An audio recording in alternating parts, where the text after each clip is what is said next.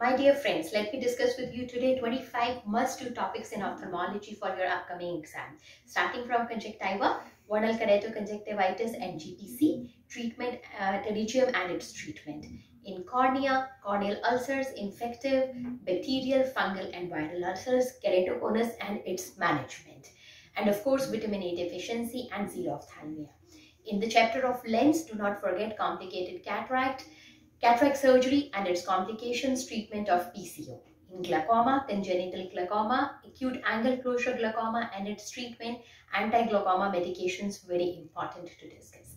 Anterior uveitis, signs and symptoms, sympathetic ophthalmitis. In retina, diabetic retinopathy, CRVO, CRAO, and of course retinal detachment. Retinoblastoma, a topic not to be missed at all. This topic has to be dealt in detail.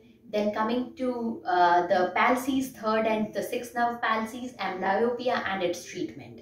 Congenital nasolacrimal duct obstruction, or orbital blowout fracture, clinical features and the CT scan.